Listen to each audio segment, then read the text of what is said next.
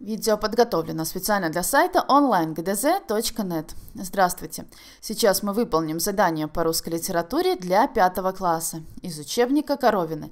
Раздел из русской литературы 20 века. Виктор Петрович Астафьев. Васюткино озеро. Рубрика «Размышляем о прочитанном». Шестой вопрос. Почему взрослые рыбаки решили назвать озеро Васюткиным именем? Ответим. Взрослые рыбаки решили назвать озеро Васюткиным именем, потому что именно он отыскал это озеро, а затем показал рыбакам, где оно находится. На этом все. Больше видео вы можете посмотреть на нашем канале.